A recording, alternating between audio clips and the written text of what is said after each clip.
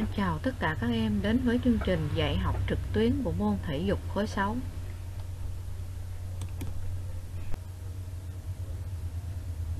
Ngày hôm nay chúng ta sẽ học chủ đề bài thể dục liên hoàn ném bóng.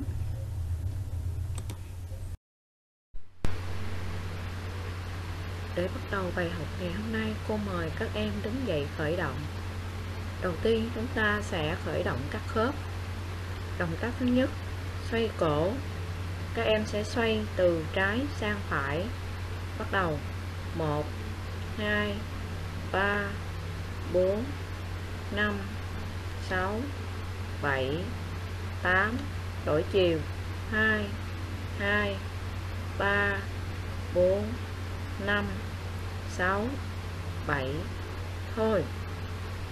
Động tác thứ hai, xoay khuỷu tay. Các em xoay từ ngoài vào trong. 1 2 3 4 5 6 7 8 đổi chiều. 2 2 3 4 5 6 7 thôi, động tác thứ ba, xoay vai. Hai tay nắm hai chổm vai, xoay từ sau ra trước, bắt đầu. 1 2 3 4 5 6 7 8 đổi chiều. 2 2 3 4 5 6 7 thôi, động tác thứ tư, xoay cánh tay từ sau ra trước, bắt đầu. 1 2 3 4 5 6 7 8 đổi chiều. 2 2 3 4 5 6 7 thôi, động tác thứ năm, xoay hông, từ trái sang phải, bắt đầu.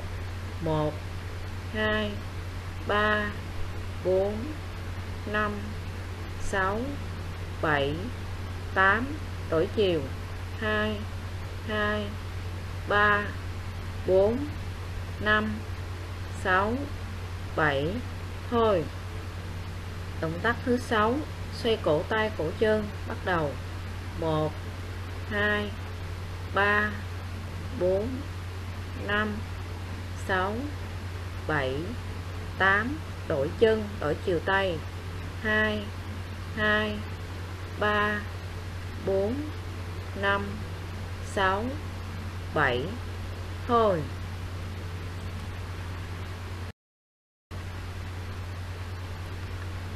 Tiếp theo các em thực hiện các động tác căng cơ. Mỗi động tác thực hiện hai lần 8 nhịp. Thực hiện bên trái 8 nhịp, sau đó đổi sang bên phải cũng thực hiện 8 nhịp. Các em nhìn theo hình và chúng ta thực hiện theo nhé. Động tác thứ nhất, căng cơ tay vai trước. Các em thực hiện bên tay trái trước. Bắt đầu. 1 2 3 4 5 6 7 8 đổi tay. 2 2 3 4 5 6 7 thôi. Động tác thứ hai, các em thực hiện căng cơ tay vai sau, thực hiện bên tay trái trước. Bắt đầu 1 2 3 4 5 6 7 8 đổi tay. 2 2 3 4 5 6 7 thôi, động tác thứ ba là động tác nghiêng lường. Các em thực hiện bên phải trước. Nghiêng lường bên phải bắt đầu. 1 2 3 4 5 6 7 8 đổi bên. 2 2 3 4 5 6 7 thôi. Động tác thứ tư là động tác gập thân.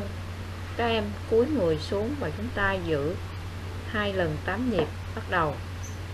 1 2 3 4 5 6 7 8 2 2 3 4 5 6 7 thôi.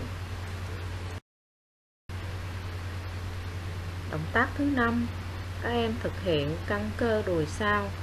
Các em thực hiện chân trái trước, bắt đầu. 1 2 3 4 5 6 7 8 đổi chân. 2 2 3 4 5 6 7 thôi, động tác thứ sáu, các em thực hiện căng cơ đùi trước. Các em thực hiện bên chân trái trước, bắt đầu. 1 2 3 4 5 6 7 8 đổi chân. 2 2 3 4 5 6 7 thôi, động tác thứ bảy các em thực hiện ép dẻo. Chân trái bước ra trước. Bắt đầu. 1 2 3 4 5 6 7 8 đổi chân. 2 2 3 4 5 6 7 thôi. Động tác thứ 8 các em thực hiện ép dẻo ngang. Các em ngồi xuống bên chân trái và chân phải các em duỗi thẳng, bắt đầu. 1 2 3 4 5 6 7 8 đổi chân. 2 2 3 4 5 6 7 thôi.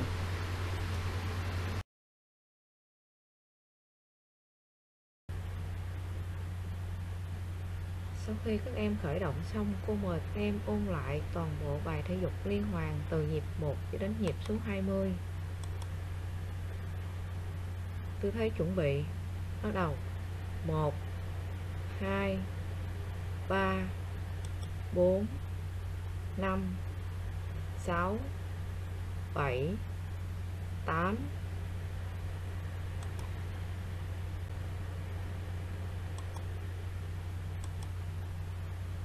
9 10 11 12 13 14 15 16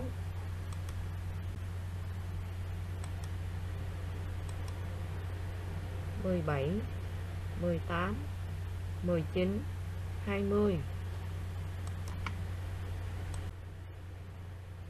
Mời các em ôn lại lần thứ hai theo video clip.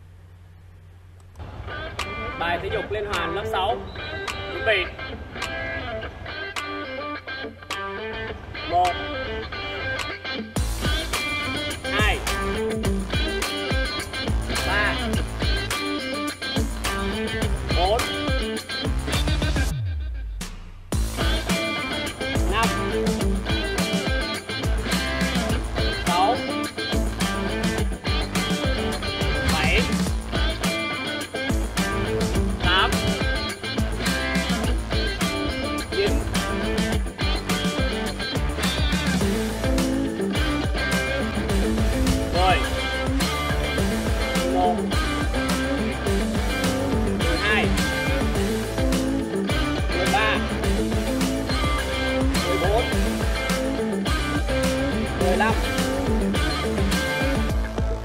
mười sáu.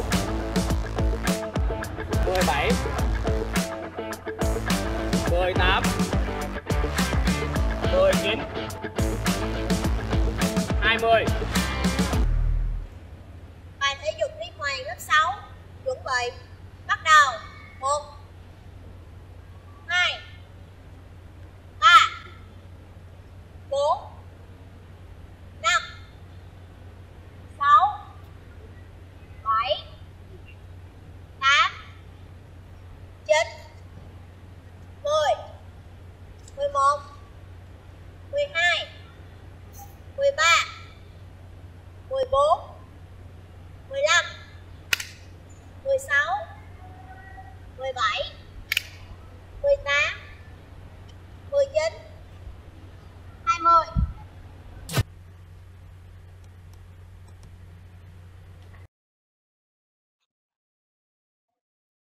Ngày hôm nay các em sẽ ôn lại kỹ thuật ra sức cuối cùng mà tuần trước các em đã học.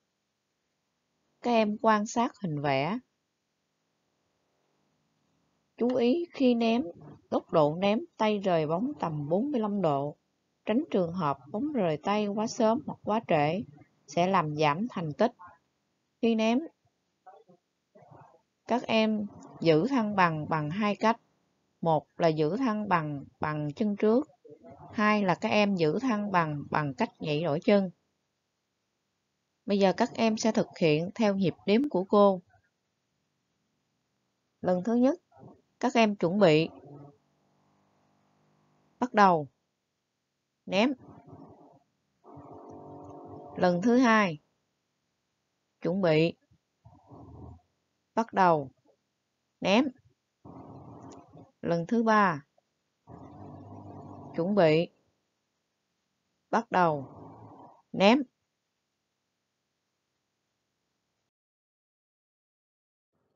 Ngày hôm nay các em sẽ học kỹ thuật chạy đà. Trong kỹ thuật chạy đà chúng ta có hai bước. Bước thứ nhất đó là bước chạy đà thẳng. Thứ hai đó là bước chạy bốn bước đà cuối. Tư thế chuẩn bị, các em quan sát hình vẽ. Đứng chân trước, chân sau, chân khác bên với tay cầm bóng đặt ở phía trước. Bàn chân thẳng với hướng ném bóng. Trọng lượng cơ thể dồn vào chân trước, chân sau chạm đất bằng nửa trước bàn chân. Tay thuận cầm bóng ngang đầu, lòng bàn tay hướng ra trước. Chú ý, khi các em cầm bóng trên tay thuận một cách tự nhiên, thoải mái, không bóp quá chặt hoặc cầm bóng quá lỏng. Tư thế chuẩn bị nên đứng tự nhiên, tự tin và nhìn về hướng chạy đà.